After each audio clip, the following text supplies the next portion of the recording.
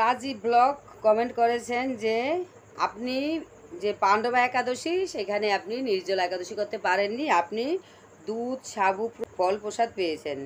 কিন্তু আপনি শুনেছেন কোনো প্রভুর কাছে পাণ্ডবা একাদশী নির্জলা না করলে পাপ হয়। প্রত্যেকটা একাদশী কিন্তু নির্জলা। তার নির্জলা যদি একাদশী করতে না পারা যায়, জল ফল খেয়ে একাদশীটা করা যায়। তাহলে আপনি যখন একাদশী ব্রত পালন করেছেন, আপনার পাপ হবে। আর যারা একাদশীর ব্রত একদম পালন করে না, তাদের কি হবে বলুন?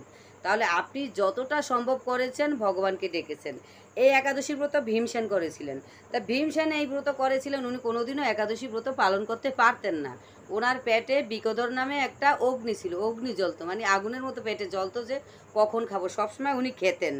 তাহলে আপনিও তো কখনো যদি না করার থেকে আপনি যেটুকু করছেন সেটুকু ভালো কাজ নয়। ভক্তদের ক্ষেত্রে আলাদা, ভক্তরা নির্জলা একাদশী প্রত্যেকটা করলে খুবই ভালো। সাধুকে বলছে সাবধান।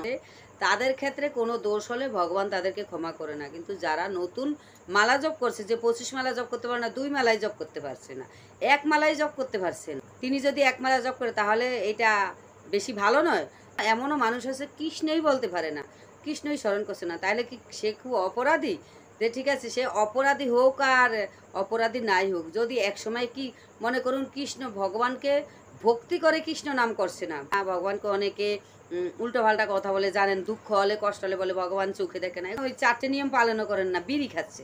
তো বিড়ি খেতে গিয়ে যদি কোনো দোকানে গিয়ে বলে যে, বিড়ির নাম আছে, কৃষ্ণ বিড়ি, গোপাল বিড়ি কোনো কোথাও গিয়ে যদি বলে, আমাকে গোপাল বিড়ি দাও বা আমাকে কৃষ্ণ, শ্রীকৃষ্ণ বিড়ি দাও, তাহলে কিন্তু এইখানেও কিন্তু পূর্ণ। ঠিক আছে? কিন্তু এগুলো ভক্তদের ক্ষেত্রে নয়, আমি প্রথমেই বলছি। ভক্তদের ক্ষেত্রে শুধু শ্রীকৃষ্ণ বিড়ি, গোপাল বিড়ি বলবে আর বিড়ি খাবে তাহলে হবে না।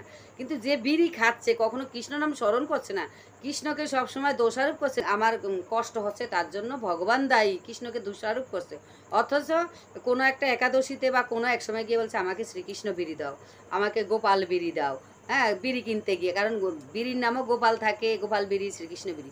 তাহলে তখন যদি ইনি এই কথা বলছেন, এতেও কিন্তু পূর্ণ, ঠিক আছে? ওই জন্য আমি মনে করি যে আপনি যে ফল প্রসাদ, সবজি প্রসাদ, দুধ প্রসাদ এগুলো সেবা নিয়েছেন, তাতে এটা এখানে কোনো পাপের কিছুই না আমি এটাই মনে করি। আপনি সবার কথা শুনুন, আপনার নিজের মনে যেটা বলে আপনি সেটা করুন, ঠিক আছে? হরে কৃষ্ণ।